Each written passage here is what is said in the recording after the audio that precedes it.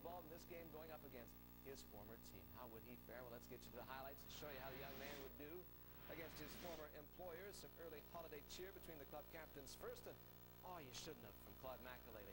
PSG taking the gift, but not capitalizing on the early chances. This move producing a drive off the post, and that was Guillaume Hoarau right there.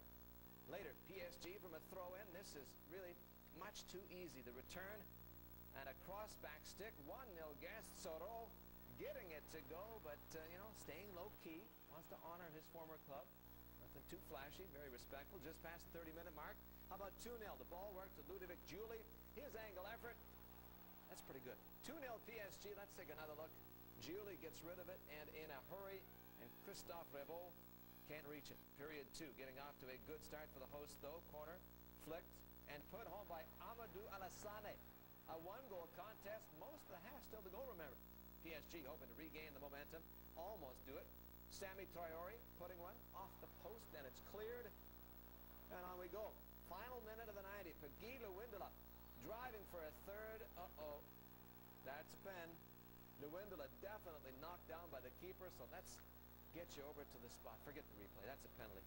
Hoarau stepping up and popping it in. Two for the returning hero.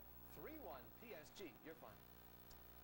Let's see what uh, Lille was up to as they were host to Saint-Etienne, Stade Metropole, and there's Saint-Etienne's new coach, Alain Perrin, replacing Laurent Roussey. Most recently, Perrin guided Lyon to a seventh straight domestic title, and that will get you fired. Yeah, usually. Leading a team to a domestic what title. What was he thinking? Yes, uh, Lille in red, Michel Bastos uh, saved by Jeremy Janot, that in the third, and then again in the 12th. Uh, Bastos was all over this game. Uh, Kevin Mirallas on the far side to Bafétimbi Gomis, and he just missed that one behind Gregory Malicki.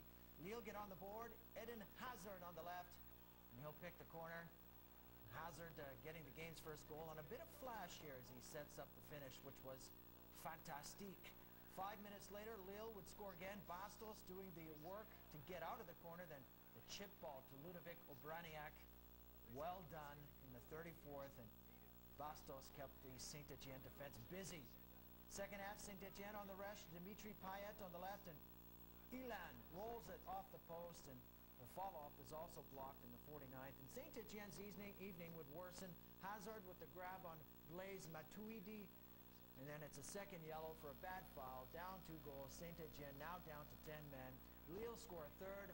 Vitek sent in by Bastos, 69th. And again, it's another delicate pass by Bastos. And nice finish as well. A corner for Lille. Obraniak would send it. And Bastos heads it. Janot with a quick reaction. The keeper stood his ground. 74th minute save there. Then in the 80th, another corner. Bastos is stopped, and Nicolas Fauvergue is stopped as well. Saint-Etienne go down again.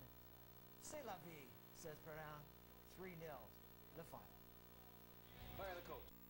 Win would put them seven points up on second Marseille, who lost to Lorient on Saturday. Lyon playing in white and Bordeaux in dark. Stade Gerland, the venue here, and Yoann Gourcuff, the through passer. Wendell saved by Hugo Lloris. Marouane Chamakh on the follow-up stop by Jean-Alain Boumsong. Bordeaux with a ding-dong of chances here, but it remained goalless after 11 minutes. Uh, free kick for Leon Juninho, the delivery. Sidney Govou, the flash hitter, and saved brilliantly by Mathieu Valverde in the 19th. This one was on the way in, but look at Valverde, the one-handed save. Just past the half-hour mark, Karim Benzema, little give and go with Fred. France International scores his ninth. This guy is awesome. 33rd minute, Fred, the soft touch, and no denying Benzema. Five minutes later, Kim Kallstrom, deflected strike. 38th minute, the Swedish international striking, and it takes a heavy deflection off of de defender Marc Planus. Second half free kick, Bordeaux. Wendell arcs it to the far post. Fernando Cavenaghi tips it past the keeper. And the Argentine internationals certainly hoping that national team coach Diego Maradona was watching that. It's a goal back for Bordeaux, but in the end, Lyon would hold the lead. 2-1 the final and a seven-point lead at the top of the team. Moving on, Nice at home to Nantes, the hosts. A couple of wins in a row coming in, but it was not going on top in the opening minutes. Guirane and N'Daw driving the free kick into an opening. Lionel Letizia in the goal, and he just throws his arms up after that one. Another look at the low lefty. This one is a cruising. 12 minutes down the road, though, it is Nice drawing even. This dead ball producing a header from Habib Bamogo, 1-1. Haven't played 20 minutes yet. Second session, lots more Nice. This move almost producing the 2-1 marker.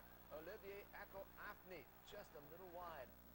And unpleased. However, all of their domination ultimately plays off, or pays off. Chaouki Ben Saada popping it to Eric Mouloungui. 2-1 Nice. That's the winner. And uh, there were three games.